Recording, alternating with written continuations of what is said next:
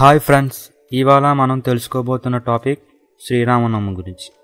ఈ శ్రీరామనవమిని మనం ఎందుకు సెలబ్రేట్ చేసుకుంటాం అనేది హిందువులకు చాలా వరకు తెలిసే ఉంటుంది. అయితే తెలియని వారు ఈ వీడియో పూర్తిగా చూసి తెలుసుకోండి. హిందువులు జరుపుకునే పండుగల్లో ఈ శ్రీరామనవమి అనేది చాలా ముఖ్యమైన పండుగ. ముఖ్యంగా దక్షిణాది రాష్ట్రాల్లో ఎక్కువగా ఈ ఫెస్టివల్ను సెలబ్రేట్ చేసుకుంటారు. రామాయణం ప్రకారం అయోధ్యకు రాజైన దశరథునికి ముగ్గురు భార్యలు. వారు కౌసల్య సుమిత్ర కైకేయి. అయితే ఆయనకు ఉన్న బాధంతా సంతానం గురించే. సంతానం లేకపోతే రాజ్యానికి వారసులు ఉండరని గ్రహించి రాజు విశిష్ట మహాముని కలుస్తాడు.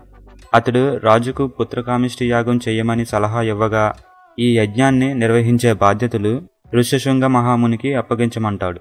వెంటనే దశరథుడు ఆయన ఆశ్రమానికి వెళ్ళి ఆయన తన వెంట అయోధ్యకు తీసుకొని వచ్చి యజ్ఞకార్యాన్ని పూర్తి చేస్తాడు. ఆ యజ్ఞానికి తృప్తి చెందిన అగ్నిదేవుడు పాయసంతో నిండిన ఒక పాత్రను దశరథుడికి ఇచ్చి భార్యలకు ఇవ్వమంటాడు. దశరథుడు అందులో సగభాగం మొదటి భార్య కౌశల్యకు రెండో సగభాగం చిన్న భార్య అయిన కైకేయికి ఇస్తాడు. వారిద్దరూ వారి వాటాల్లో సగం మిగిల్చి రెండో భార్య అయిన సుమిత్రకు ఇస్తారు.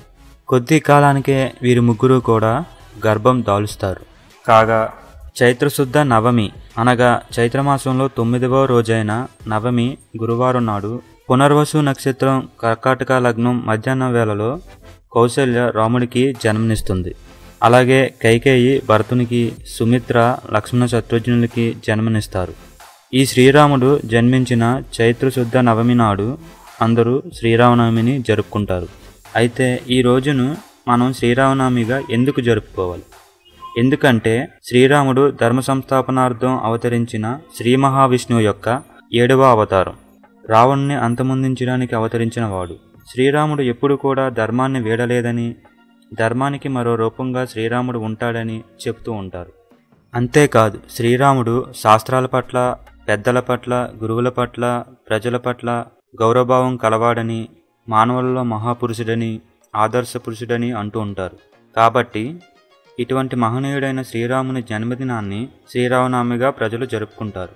కాగా రావణ సంహారం చేసిన తర్వాత ఈ చైత్రశుద్ధ నవమి నాడే శ్రీరాముడు సీతా సమేతంగా అయోధ్యలో పట్టాభిషక్తుడైనాడని శ్రీ సీతారాముల కళ్యాణం కూడా ఇదే రోజున జరిగిందని ప్రజల విశ్వాసం. అందుకనే ఈ శ్రీరామనవమిని ఒక పండుగలా ఊరంతా ఊరేగిస్తూ జరుపుకుంటారు.